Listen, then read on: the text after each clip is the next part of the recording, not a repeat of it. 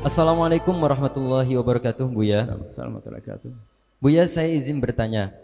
Bagaimana menyikapi orang tua yang bersikeras meyakini bahwa sesajen untuk arwah keluarga itu ada dan tidak mau menggantinya dengan sodakoh ke tetangga? Mohon penjelasannya, Buya. Wassalamualaikum warahmatullahi wabarakatuh. Sesajen. Sesajen adalah sesuatu yang disajikan.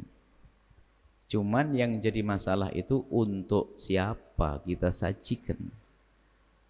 Kalau sesuatu yang disajikan adalah untuk saudara-saudara kita, maka adalah hal yang baik. Sebelum kita menjawab, harus ada batasannya. Jika di sana ada kelompok agama atau keyakinan yang meyakini sesajen dengan keyakinannya, itu bukan wilayah kita. Urusan beliau, urusan mereka-mereka yang punya keyakinan semacam itu. Supaya jawaban kita tidak anggap merendahkan dia. Tidak, urusan. Yang meyakini sejajen ada agama lain yang mengatakan sejajen adalah untuk mengundang eh, keyakinan itu urusan. Coba kami berbicara kepada anda kaum muslimin. Anda kaum muslimin yang meyakini tidak ada Tuhan selain Allah. Siapa yang memberikan kekuatan? Allah. Siapa memberikan keselamatan? Allah. Siapa yang akan menimpakan musibah kepada hambanya? Allah. Yang mengangkat siapa?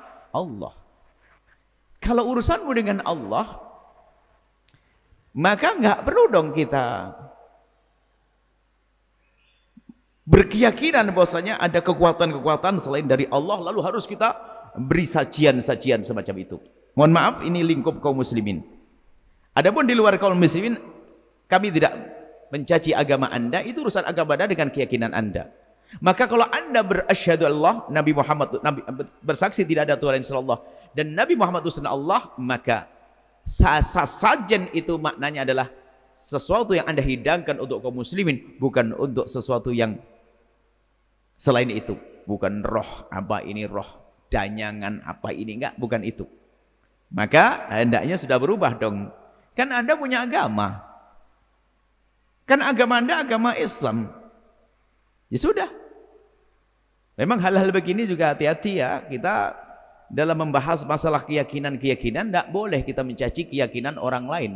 Kalau mereka mengatakan keyakinan kita salah dan mereka menyatakan keyakinan mereka salah itu sah tapi tidak boleh saling menghinakan.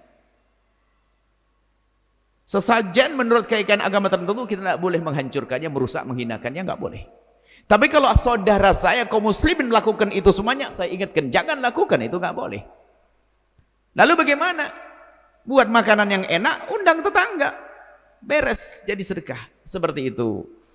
Tapi bapak saya orang muslim. Wah. Kalau ayah anda seorang muslim cuman perlu dikasih wawasan. Bukan dimusuhi dicaci dan di Allah berikan wawasan.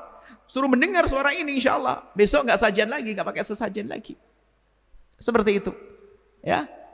Kami seru kepada semua kaum muslimin yang beriman kepada Allah. Yang memberikan kekuatan adalah Allah Bukan roh ini, roh itu, bukan danyangan ini, danyangan itu, tahu apa? Bukan ini, bukan Allah. Kalau ada roh-roh jahat, cukup a'udzubillahi minasyaitonirrajim. Tidak usah macam-macam. Rumah yang menyeramkan, bacain surat Al-Baqarah fa inna syaitan yanfiru min baitin tuqra'u fihi Al-Baqarah. Selesai, apa lagi? Enggak usah pakai sesajen-sesajenan, enggak usah. Anda kaum muslimin, tapi kalau anda melihat tetangga anda yang bukan kaum muslim melakukan sesajen, jangan anda caci dan anda Allah. Lihat itu itu yang diajarkan Nabi Muhammad. Kita tidak boleh mencaci keyakinan orang lain. Wallahu a'lam bishawab.